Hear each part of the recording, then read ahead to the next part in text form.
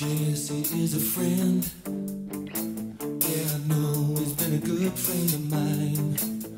But lately something's changed, it ain't hard to define. Jessie's got himself a girl, and I wanna make her mine.